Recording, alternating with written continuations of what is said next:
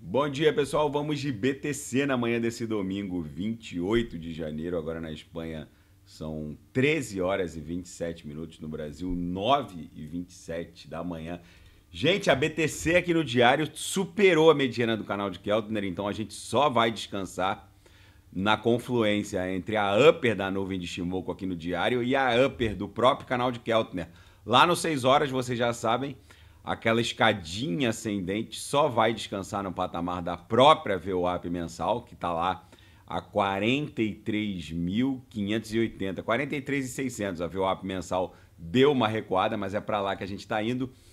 No intraday, aquele mega silêncio que precede um grande esporro acabou confirmando o nosso prognóstico, explodiu para cima. Agora a BTC está acumulando aqui no patamar da própria VWAP no intraday, na altura de 42,300.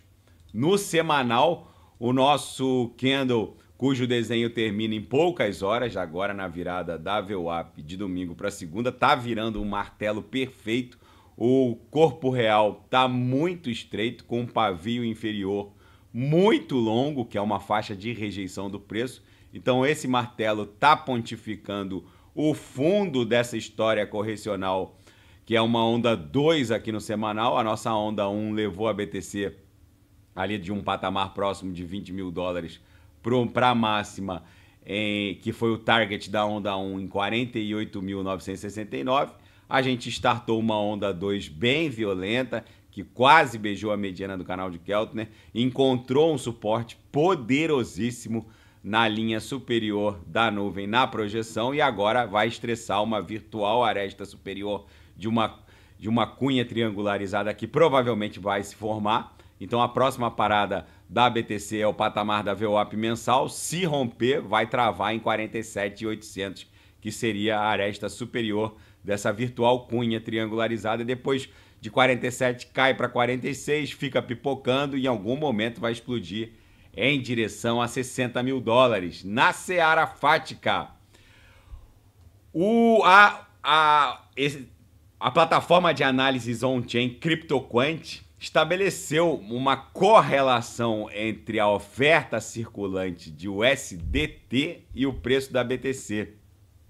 Eu também ainda não havia percebido essa correlação, mas eles estabeleceram, identificaram essa correlação toda vez que há um aumento na oferta circulante de USDTs, a BTC reage com algum delay no movimento impulsivo, como a oferta circulante de USDT e outra, o USDT tem se transformado numa grande ponte de entrada de capital institucional é, junto com os ETFs de BTC no mercado à vista. Antes do, do, do ETF Spot, a, a, as stablecoins, o SDC e o SDC, a Circle, eram as grandes portas de entrada do capital institucional em direção à criptografia. Agora elas rivalizam com os ETFs de BTC no mercado à vista. E essa correlação é clara, há algum delay, mas ela existe. E como a oferta circulante de USDT não para de crescer, a conclusão é de que haverá uma expansão no market cap da BTC.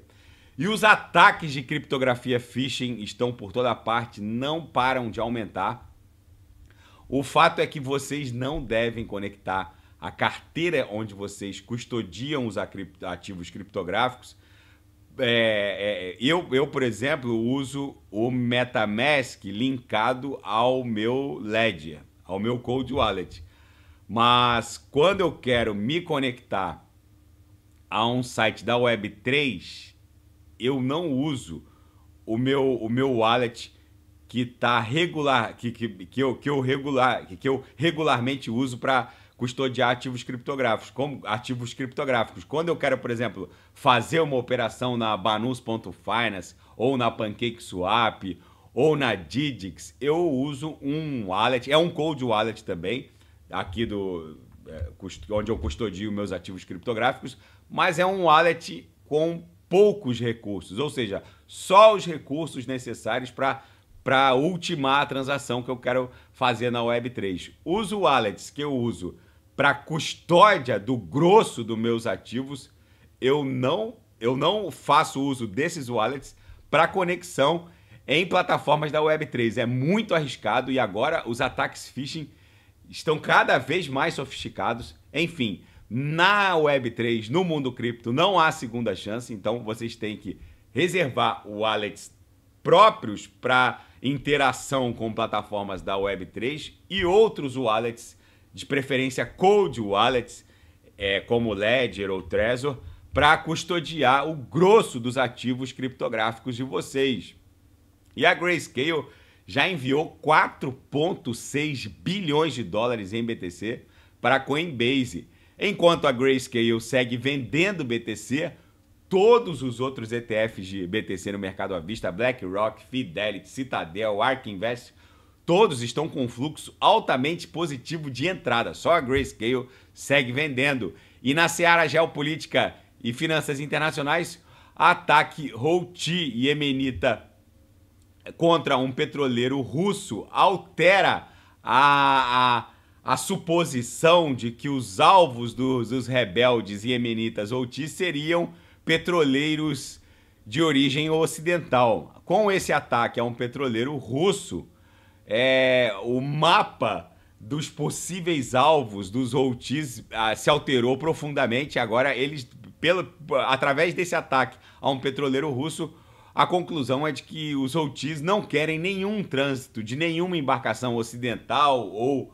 russa ou indiana no, no acesso ao canal de Suez via Mar Vermelho. Isso pode alterar o preço do petróleo é, na próxima semana. E o Netanyahu afirmou que a eliminação do grupo terrorista Hamas continua sendo o objetivo do conflito em Gaza. Ele não vai permitir que nenhum membro do Hamas saia vivo desse conflito e a caça vai continuar até a, a captura e possível morte do último membro do Hamas. E o Netanyahu afirmou que dentre os pertences encontrados, pertences de terroristas do grupo Hamas encontrado na faixa de Gaza, estaria a Bíblia nazista, o Mein Kampf, é, numa versão em árabe, o que comprova o, o, essa, essa, esse caráter antissemita e de, e, de, e de tentativa de extinção de Israel, de tentativa de extinção de Israel pelo, pelo grupo terrorista Hamas. Ele disse que essa propaganda antissemita, que é a Bíblia nazista, foi encontrada numa versão árabe por soldados israelenses em diversas casas em Gaza.